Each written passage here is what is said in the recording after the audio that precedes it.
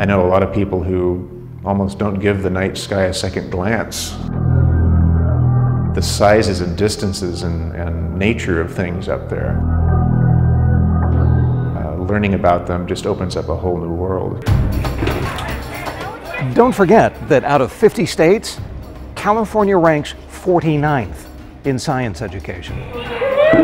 We face something of a crisis. I mean, most kids today aren't getting adequate science education. And so places like Chabot can really address that challenge and that need.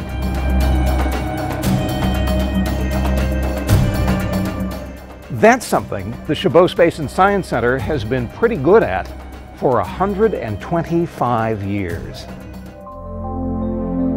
Chabot started as an observatory, donated to the City of Oakland 125 years ago, and throughout that time we've been a publicly accessible observatory. First located here at Lafayette Park in downtown Oakland, relocated to Mountain View Boulevard in 1915, where it was unfortunately placed right on top of the Hayward Fault. The newest Chabot Space and Science Center now sits 1,540 feet above sea level in the Oakland Hills. Named for Anthony Chabot, one of 16 children from Canada, he made his fortune getting water to Bay Area cities. $3,000 of that fortune went to building that first observatory. 125 years later, you can still look through the eyepiece of that very first telescope.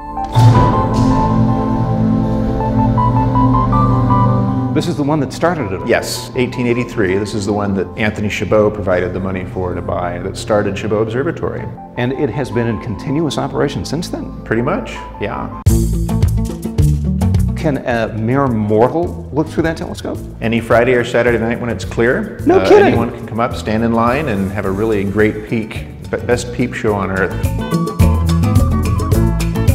The observatory has three big telescopes now. They have always been available to the public.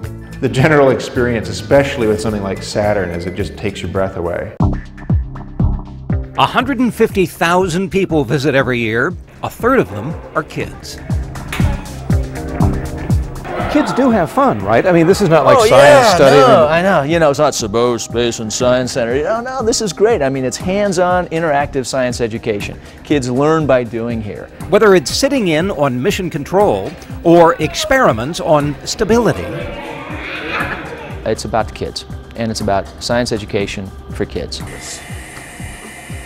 And while some things may be puzzling even to adults, where volcanoes form, how volcano forms. You don't have to be Einstein to visit Chabot, although he did. His personal telescope is actually on display here. So is a 3 billion year old rock from the moon, and meteorites that date back almost to the beginning of our solar system. And while you might find out a thing or two about other heavenly bodies, it's all about getting kids up to speed on this one. We hear every day about global warming. We hear about climate change. Well, at the core of all of that is science. It's just so important for young minds to get activated and engaged. And, and science is at the core you know, of all the challenges we face. We exist to educate and inspire students of all ages on the planet Earth and the universe. A noble goal and one that Chabot has hit out of the park. Just like that team that's celebrating 50 years in San Francisco this year. As correspondent Dave Stelk reports.